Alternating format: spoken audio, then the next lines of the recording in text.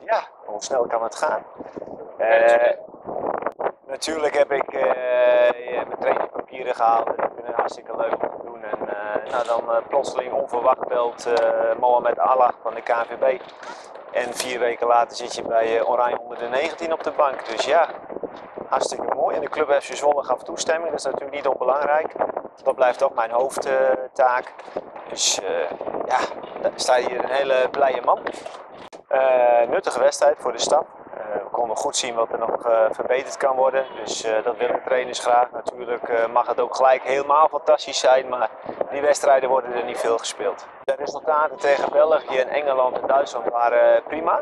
Maar ja, dan zie je toch tegen een Jupiler League ploeg met volwassen spelers dat het even nog een, een, ja, eigenlijk een stapje te hoog is voor de meeste jongens. Want die spelen elke week in de A-junioren competitie zijn uh, veruit de beste spelers, hebben makkelijke wedstrijden. En nu moesten ze vandaag aan de bak. Ja, ik verwacht toch in de kwalificatie ook wel moeilijkere tegenstanders. Dus we moeten nog wel even wat stapjes maken. We zijn goed op weg. Het is een hele rustige groep, maar er mag nog wat meer gif in komen.